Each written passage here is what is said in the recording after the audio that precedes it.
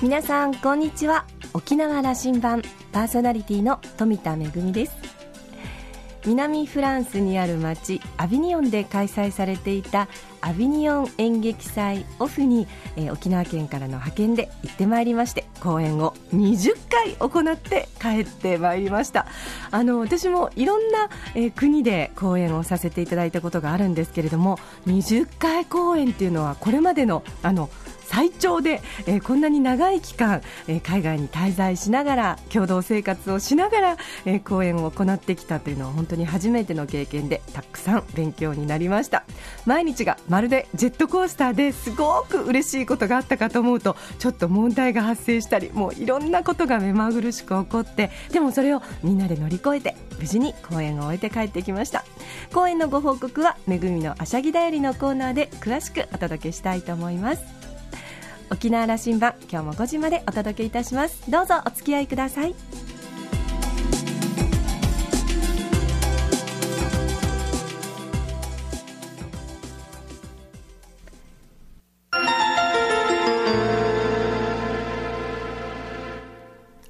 那覇空港のどこかにあると噂のコーラルラウンジ。今週は株式会社沖縄物産企業連合代表取締役社長の羽地智明さんとラウンジ常連客で沖縄大学地域研究所特別研究員の島田克也さんとのおしゃべりです。羽地さんは1964年生まれ那覇市のご出身です。流通業界勤務の後2002年に沖縄物産企業連合へ入社しまさに沖縄物産の全国展開の第一線を歩んでこられており2013年からは同社の代表取締役へと就任しました。創業時の経緯や事業への思いそして社名に込められた思いなどについて島田さんと語り合っているようです。それではどうぞ。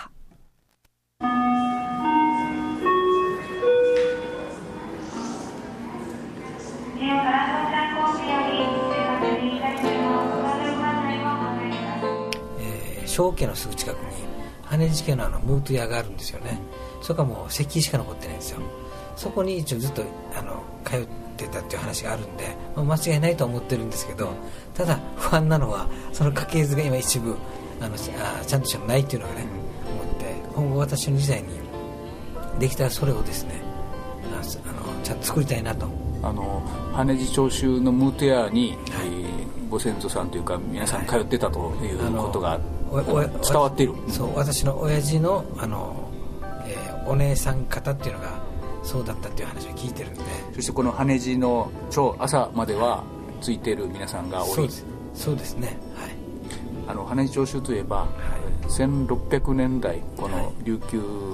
王府がね、はい、大変こう財政が苦しんだ時に、経済的にこうあの停滞した時に、改革をした人とい。うことで、はい。えー伝わっているわけですけども、はい、私としてもですねやはりあの最初はですねこの羽地長州っていうのはやっぱりなんていうんですかね名前が大きすぎて、すごい重荷にもね、うん、なっててあのなんていうんですかねどうなのかなと思いもしたんですけど逆に今あの会社を経営する中でですね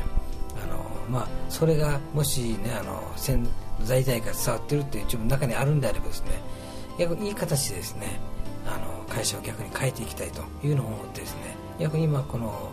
昔の思いだったのが自分の逆にここの支えにもなってますかね、この羽長州っていうのがですね。あのまあ1年代表になって、はいはい、えー、この遺伝子がね、はい、こうこう湧き立ってきてる頃かなと。そういうことですかね、そうですね、はい、そんな意識に立ってきてます、はい、会社もですねなかなかですねあのこの経緯もありながらなかなか、え沖縄のためにっていう思いかいあの思う会社ですからでも簡単にあの儲かる会社ではないわけですよね。でもそれを、えー、じゃあ商売だけで、えー、見た時に儲かれ儲かってるだけでいいのかとかそうじゃなくて沖縄の理念もですね文化も歴史も伝えながら、えー、ちゃんと経営できるっていうのが企業連合かなと思ってますので。あのぜひ今日はラジオを聴いてる人にこの沖縄物産企業連合とは何だということを伝わるような話を聞かせてもらえばなと思うんです、あの、えー、こういうふうに多分あの一般消費者、あのまあ、ラジオ聞いてる人は、物産公社と物産企業連合という、このこの違いが分からないというふうに多分聞いてる人多いはずですよね。そうですね、はい、どうです？社長としてもそんな聞かれ方することありません、ね、あの私が、えー、沖縄物産企業連合の代表ってな,、なっても周りからあ物産公社の社長になったんだねと言われて誤解も受けてこれを訂正するのにですねあのやっぱり皆さん分からないもんですから、うん、逆に言ったらややこしかったりしますね、えー、基本的にですねあのもう、えー、県えー、県からですね、まあ、あのあの宮城宏が更迭されてそれからですね、えー、会社を立ち上げるという時に例えばあの物産公社の、えー、ほぼ管理職ですよね、えー、管理職がもう私その当時はいないんで分からないんですけど、えー、1415名ぐらいですかね、えー、辞めまして、えー、企業連合の会社に入ったということでで観光がみんな辞めてですねある程度、えー、企業連合の中に入ったということで立ち上げてますね。で私みたいに外部から入ってくる人もいてですからあの頃はですねあの沖縄物産を、えー、全国に広めようというのが趣旨なんですけど政治から見てそうなったもんですからそれではいけないと。民間の力でですねあの沖縄物産を広げようということでですね、えー、なんて個人、えー、法人含めて、えー、61名の株主がですね出資をしまして、えー、そこに資本金と蓄えてですね会社を立ち上げたというのが経緯でございます、それではいけないとあの今羽根さんおっしゃったのは、はい、こう物産公社というのが、はい、えー、こう政治や、はい、あんまり行政の理屈だけで、やっていてはそれではいけないんだという意味のこと。そうですね。その民間の声はそうだったと、こういうことなんですね。そうですね。はい。そう思いますね、うん、えー、実際にはですねあのすごい伸びてましたから、うん、えー、そのままであればみんなあのそこ物産公社を応援したと思うんですよね、うん、ですからそこにあの唯一のあの第三セクターでクルーズを経営したという経緯もあってそこのやっぱり天下りに多分許せなかった方々が逆にあの出資もしてくれたんじゃないかなと思いますけどね、えー、民間企業からの出資今その頃スタート時で何社からの出資だったんでしょうね、えー、ほぼですねあの変わらないと思うんですけども、えー、やっぱり60名近くがそうですね578名がそうだと思いますけどあの物産公社というあのそこもその広岩イズムの組織があって、はい。はい、あの沖縄の物産を全国に展開という企業とやって、はい、で2001年にたもと分かって物産企業連合できたと、はい、その頃は、はい、あのまあ、要するに力が分散したわけですので、全体として、えー、売り上げが落ちるかと思ったら、実はそうじゃなかったんですよね。そうなんですね。あのまずですねあのうちもですねやはりあの目標がですね物産公社に追いつけ追い越せが大きなテーマでしたのではっきりとした目標があったんです、ね、ありましたね。もうそこにあの従業員みんなですねあのもう一生懸命一心不乱に働いたんですよね。それはっきりとした目標があると人は燃えますよね、はい、そうですね。もう本当にそうだったと思うんですよ。すごい活気がある会社で、うん、多分その頃物産公社もですね企業連合に抜かれたら困るわけですから。でも売り上げとしてはもう天と地の差ぐらい離れてますよ。それでも縮まったら困るということであっちも一生懸命だと思うんですね。ですからそういう感じで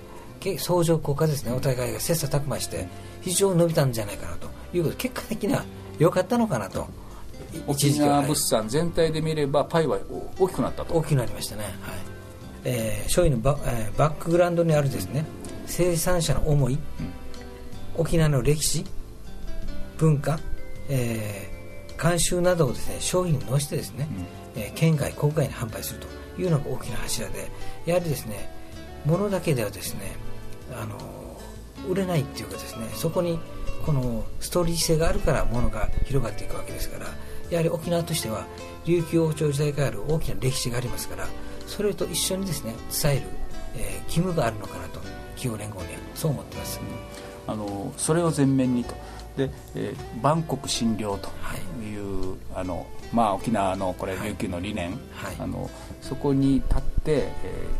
ー、自立経済を実現していくんだと、はい、ここれが物産企業連合の、あのまあえっと、役割なんだとい。うことをおっしゃってると、はい、そうですね。基本的にですねうちなんかが企業連合が物を売ることでですねあの物を売るっていうことはえー、結局、えー、メーカーさんから仕入れますよね。仕入れるということはこのしあの仕入れメーカーはまた生産をするために、えー、この農産物だったりいろんなものをまず仕入れますよね。そこにはまた農家だったり、そこにいろんなことを踏ま踏まえたら物産を売ることでその連携の中から雇用も生まれるしやっぱりそこで事実経済が成り立っていくだろうと、えー、会社としてですねやはり平和な沖縄があってこそ初めて、えー、ビジネスができると思ってますのでやはりそれはですねよく会社の中でもきちんと頼らない、えー、平和な自立経済を目指すのが大きな柱であってやはりうちなんか売ることがですね沖縄のためになっているということがですねすごい、えー、働く従業員のですねモチベーションにつながっているのは間違いないですね。創業の思いはどうです？あの社風企業の中に引き継がれているというふうに。はい基本的にですねあの入り口はあの創業者でしたけど、うん、やっぱり2代目のあの山城和社長なんですけどね。やはりその平和に対する思いはどちらかといえばですね2代目の山城前社長の方がすごい強かったかなと思いますね。ですからその辺はですねあのしっかり、えー、それを広げたのが宮あ山城前社長であって。あの山城さんとは僕も思い出いっぱいあるな。あのみんな梶さん梶さんって言って、はい、あの大変親しみを込めて呼ぶあの経営者でしたけど久米島出身でね。そうですね。だから大変こう政治の流れにも関心を持たれる方でね、はい、あの、はい、時折折の政治情勢にもいつもコメントをなさ出しておられましたよね。はいそうですね、うん、あのやはりですねあの、えー、山城前社長はですね基本的にあの久米島出身でもあって、うん、やはりあのこの離島の産業がどうしたらいいのかとかいろいろですね。新しい農産物はどうしたらいいのかとかやはりこの思いがあってですね、えー、それがですね今の 企業連合を支えているのは間違いないんですね。実際にあの久米島で、えー、5年前にあの赤土の会というこの生産者グループを立ち上げてますね。その時にですねあの本当に当初は5名からスタートした生産者グループですね。で実際に何を作っていいかも分からない。久米島にはサトウキビしかないと。でそこにあの働く若い人が働く仕事がないと。それをどうにかしないといけないのが多分入り口だったと思うんですけど。それがですねあのどんどん広がって今23名ぐらいの生産者グループになってますけど。それも前社長がしっかりですねそこに価値があるということでやったことが今成功になってつながってそれが今の企業連合の、えー、柱になっているのは間違いないですよね。名のごとくというか、はい、あのなんか体を表していると思うんですけども、はい、どんな思いがこもっていますかね、えー、基本的にですねあのやっぱり企業連合というからにはですね、やはりあのうちの先ほど、えー、お話しした株主今61名いるんですけどもこの株主の皆様はですねやはりメーカーの方だったり一般の方でもあるしありますしやはりですね沖縄の思いが、えー、思った人々がですね、えー、物産企業連合に出資をしていただいているということですからその、えー、出資しているあの沖縄の生産者だったりあのメーカーだったりそういう方々のですねの思いの共同体だと思ってますのでその柱として企業連合が表に出させてもらっているという形であってやはりみんなの思いを背負ってですね、えーえー、県外郊外に販売していくというのが基本の柱ですからそれはあのうちがメーカーではありませんのであのやっぱり十分代表しているのが企業連合であるだけなのかなという気もしてますね。あのこれまあ沖縄らしい話かもしれませんけどもどうしても中小で零細でという企業グループでずっとやっていたと、はい、そこが外に向かっての商売を始めようという時に、はい、そうやってみんなでまとまってということが必要だったと。これ、ね、この30年ぐらいで気づいてきたってことですよね。そうですね。はい。それをあの体現しているというような理解でいいですかね、はい、あの やはりですね企業連合の立ち上げの時にはやはりあの連合を頼ってですね、あの県外に販路を拡大した、えー、メーカーさんもいますけどもそれが逆に成長してあの大きくなってですね自前でもできるようになっている企業もありますそれに関してはですねあの企業連合も卒業して自前でやってますから逆に言ったら歓迎することではい、大いに結構で、ね、いいんですね。それで、はい、あのどうのこうのはないわけですね。そうですね。基本的にそこはですね、やはりあの、えー、力をつけたということですから逆にありがたいことであってでも企業連合にはですねまだ新しいメーカーどんどん出てきますよね。小さいな零細企業の。そこがですねうちを頼ってくるあの流れになってますからということは、はい、沖縄にはまだ可能性の目がいっぱいあるというふうに持ってるということですそうですね、はい、ビジネスチャンスがいっぱいあると、企業連合としてのビジネスチャンスがいっぱいあるというのはそういう意味ですよね。そうですね。はい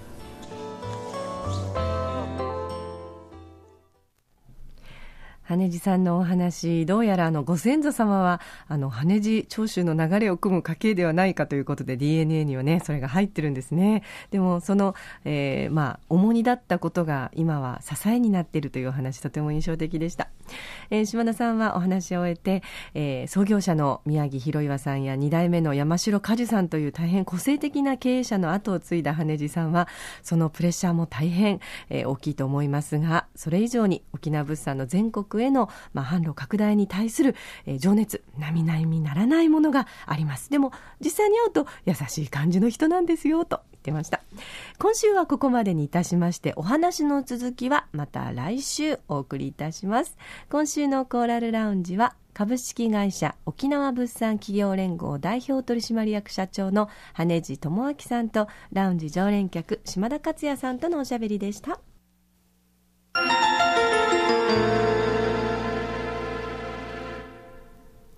めぐみのあしゃぎだよりのコーナーです、えー、フランスのアビニオン演劇祭の公演のご報告をしたいと思います、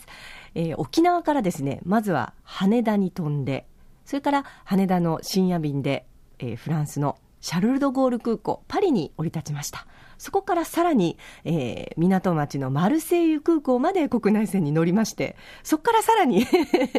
えー、今度は、えー、車に乗り換えまして、1時間ちょっとでアビニオンの街に到着いたしました。えー、アビニオンのあの中心街というのは大きな、まあ、城壁に囲まれていまして、街全体が。その中に、えー、かつて、あの、現在はあの、バチカンにいらっしゃる法王がいらっしゃった時代があるんですよね、アビニオンに。なので、えー、その法王がいらっしゃった時代の建物が今でも残ってまして、法王町、そしてその前に大きな法王町の広場があるという街なんですけれども、そこにですね、まあフランス国内だけではなくて、もう世界中からもうありとあらゆる舞台パフォーマンスが集まってくるんですね。まああの演劇もそうですし、ダンスもありますし、サーカス、人形劇、影絵に、ミュージカルに、オペラにともいろんなのがあるんですけれども、そこに、まあ公式部門、まあインと呼ばれている公式部門があって、そのえまあ、スケジュールと大体同じくして、オフという、まあ、参加する形の、えー、部門がありまして、私たちはそのオフ部門に参加をいたしました。今年はですね、あの、アジアからの参加も大変多くて、あの、沖縄からは私たちだけだったんですけれども、日本本土から、それから韓国や、えー、中国からの参加もたくさんありました。まあ、とにかく数が多いので、まずは私たちこういう講演をしてますよっていうのを知ってもらわないといけないんですよね。あの、公式プログラムにちゃんとこう写真とかも載せてるんですけれども、まあもうあの、分厚い辞典みたいなプログラムになってますので、その中から自分たちの作品を選んでもらうというのは本当に至難の技なので、毎日、まあ私たちも三振を持って、それから衣装を着て街に繰り出しまして、街頭パレード、そしてパフォーマンスをするわけですよ。ちょっとしたスポットがあると、そこで5分ぐらいちょっと歌三振をやって、ちょっとだけ踊りをしてとか、ちょっとエイサーをしてみたいな感じにして、で、あの、その場所でみんなにフライヤーを配って、ぜひ、あの、私たちの公演見に来てくださいね、ということで交流をして、そしていよいよ公演となります。私たちの開演時間がですね、夜の10時15分だったんですよ。これすごいと思うんですけれども、一つの劇場を、あの、いろんな団体で、えー、借り切っていくんですけど、私たちはちなみに、えー、確か6つか7つの劇団で一つの劇場を借りていたので、その中の一番最後の時間なので、私たちは夜の公演でした。ただまあ、あのね、もともと沖縄で、あの、夜型生活をみんな送ってるので、あの、そんなに大変ではなかったんですけれども、ちょっと大変だったのは、暑さですね。あの、沖縄の暑さに慣れてるとは言っても、ちょっと違った暑さで、もわっとした暑さで、湿気はないんですけれども、かなり暑くて、連日、えー、30度超えで、一番暑い時には39度という そんな 時もありましたけれども、えー、そんな暑さの中、公演を行ってきました。おかげさまで、あの、お客様もたくさん来ていただきまして、そして、あの、現地のメディア、テレビの取材ですとか、それから新聞にも、あの、多く取材をしていただきまして、えー、ラ・プロバンスという現地の新聞からは、えー、最高評価の5つ星評価もいただきまして みんなで、えー、お祝いをしましたけれども、えー、9月にはですね、えー、まあ、凱旋公演という形で、同じこのボトルメールという作品の凱旋公演を行いたいと思いますので、また詳しくご案内したいと思います。めぐみのあしゃぎだよりのコーナーでした。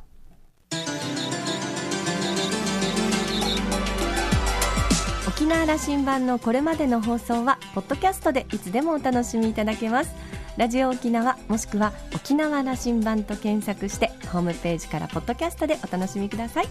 それから私富田やコーラルラウンジ常連の島田さんのブログやフェイスブックでも情報発信中ですのでぜひこちらもチェックしてみてください。沖縄羅針盤今週はそろそろお別れのお時間です。パーソナリティは富田恵でした。それではまた来週。